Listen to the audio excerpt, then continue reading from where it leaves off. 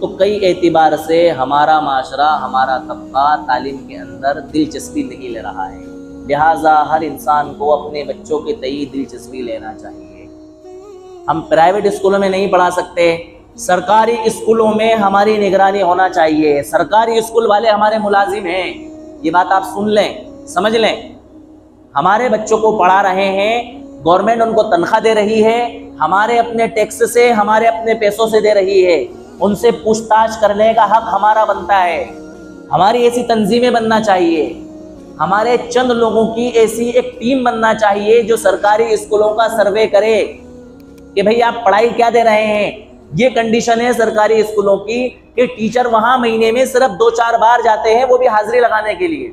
सरकारी स्कूलों के टीचर सरकारी स्कूलों में बराबर टाइम नहीं दे रहे हैं, वही सरकारी टीचर अपने प्राइवेट कोचिंग सेंटर में बराबर टाइम दे रहा है। लेकिन सरकारी स्कूलों में टाइम नहीं दे रहा है। हालाँकि सरकार की तरफ़ से उनको तनख्वाह बराबर मिल रही है। हमारा हक है, अधिकार है, हम उन सरकारी स्कूलों में जाएँ, वहाँ के निसाब को चेक करें, वहाँ के तालीम के मैार को चेक करें, और वहाँ के स्कूल के जो टीचर हैं, उन टीचरों से हम डिस्कस करेंगे नहीं, तालीम आपको देना पड़ेगी बच्चों को। हम अपने बच्चों को पाबंदी से पहुंचाएँ। हो क्या रहा है कि बच्चे भी पाबंदी से नहीं जाना सरकारी स्कूल खाली पड़े हैं। टीचरों को सोने का, गप्पे लगाने का, खामोश बैठने का हँसी मज़ाक करने का टाइम पास करने का भरपूर टाइम मिल रहा है। सरकारी स्कूलों को, के टीचरों को बिगाड़ने में असल रोल हमारा है। या तो हमने वहाँ बच्चे पहुँचाए नहीं, और अगर बच्चे हमने पहुँचाए तो वहाँ हमने निगरानी नहीं की, टीचरों की ध्यान नहीं रखा हमने कि ये क्या पढ़ा रहे हैं। हम क्या समझते हैं कि भाई ये सरकारी आदमी है, सरकारी मुलाजिम है, इनसे कुछ कहेंगे, इनसे कोई बातचीत करेंगे तो हमें दिक्कत आ जाएगी। नहीं, कोई दिक्कत नहीं आना है। हमारा अधिकार है, ये हमारा हक है उनसे सवाल करना। पूछताछ करना। अगर हमने ये रवैया इख्तियार किया और सरकारी स्कूलों पर और वहाँ के मुलाजिमों पर और वहाँ के टीचरों पर अगर हमने नज़र रखना शुरू कर दी, मैं समझता हूँ चंद सालों के अंदर सरकारी स्कूलों का तालीम का निज़ाम, तालीम का माहौल बेहतर हो जाएगा। उनको करना पड़ेगा। उनकी मजबूरी बन जाएगी तालीम को बेहतर करना। हम शिकायत करें उनकी अगर वो तालीम बेहतर नहीं दे रहा है। अब क्या हुआ? सरकारी स्कूलों में तालीम तो मिल नहीं रही है।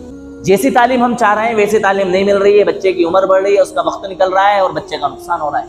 हमने रुख कर लिया प्राइवेट स्कूलों की तरफ़। अब जब प्राइवेट स्कूलों की तरफ़ हमने रुख करा तो माशाल्लाह प्राइवेट स्कूल वाले जब शुरुआत करते हैं तालीम की तो बड़े अच्छे अंदाज में करते हैं कि कौम का मफाद होगा, कौम का भला होगा। लोगों को हम जो है ना, कम पैसों के अंदर कम फ़ीस के अंदर तालीम देंगे, लेकिन धीरे धीरे धीरे धीरे उनके लालच बढ़ते हैं और उनकी फीसें आसमानों को छूने लगती हैं। हमारा मुतवसित तबका, और मैं समझता हूँ अस्सी फ़ीसद तबका प्राइवेट स्कूलों की फ़ीस भरने से कासिर है। और अगर शुरू की क्लासों में उसने फ़ीस भर भी दी तो बाद की हाई क्लासों में हाई स्कूल में हाई सेकेंडरी में वो फ़ीस नहीं भर पाएगा। मजबूरी है उसके बच्चों को तालीम छुड़ाना।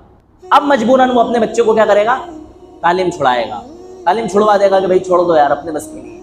फिर वो अपने बिज़नेस में हाथ बटाएगा कि भाई, जो काम अपन कर रहे हैं, मैं ठेला लगाता हूँ, आप भी ठेला लगा लो, मेरे साथ में हाथ बटा दो। मैं फला जगह काम करता हूँ, आप भी मेरे साथ काम करने लग जाओ। जाओ, कोई नौकरी देखो, कोई जॉब देखो, कोई फन सीख लो, कोई हुनर सीख लो, सिलाई सीख लो, ये सीख लो, वो सीख लो। अब जिस बच्चे को इस काबिल हमने बनाया, जो बच्चा यहाँ तक पहुँचा कि मज़ीद वो अपने अंदर काबिलियत और सलाहियत पैदा करता, उस बच्चे को हमने इस वजह से कि अब हमारे पास मतलब स्कूल की फ़ीस भरने के लिए पैसे नहीं है, उसको हमने क्या कर दिया? अधूरा और नाकस कर दिया। इन सारी बातों पर हमें गौर करने की ज़रूरत है। हमारे बच्चों ने तालीम शुरू की है तो आखिर तक हमें अपने बच्चों की तालीम पर नज़र रखना है और उनको मुकम्मल तालीम दिलवाना है। जो जो चीज़ें तालीम के अंदर रुकावट बन रही हैं, उन रुकावटों को हमें दूर करना है।